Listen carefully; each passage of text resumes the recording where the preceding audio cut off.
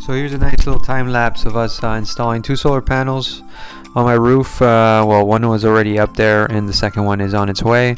Uh, these uh, solar panels are weighing 30 kilos, so in, the size is, is, is too big, uh, of course, to do it on your own. So uh, make sure you're, you're getting the right help, right gear, also finding the right brackets before you, you get up on the roof. So I had to already uh, go through three different types of brackets uh, because yeah I've been also changing the the solar panel.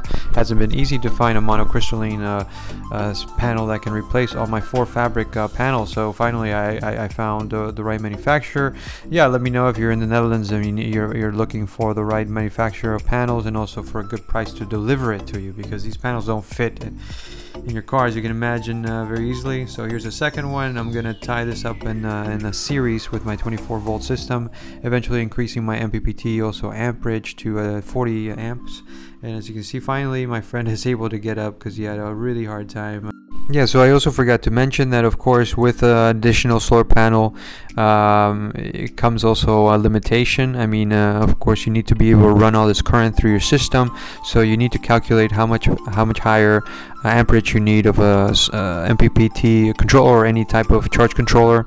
Uh, in my case, this is going to be at least 33 amps that I'm going to need, so I need to upgrade my MPPT controller to uh, 40 amps. So that's on its way. In addition to that, of course, if uh, you want to calculate how much more wattage you need or how many more solar panels you need, uh, you can just simply add up all your, uh, your, your, your, your battery bank and divide that by 6. So in my case, that's 2.4 kilowatts. Divide that by 6, you get 400 watts and that's the the same as one one of these panels of course the idea here is uh, to increase this uh, so to to two panels giving me 820 watts in theory but in the end uh, in practice it's going to be more around 600 watts.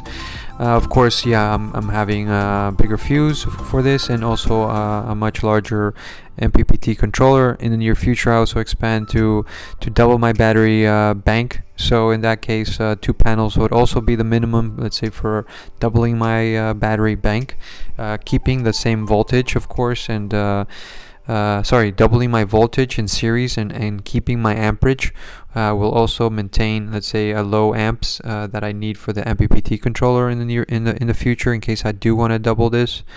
Uh, so uh, so make sure you're also looking at that, making sure you're you're calculating your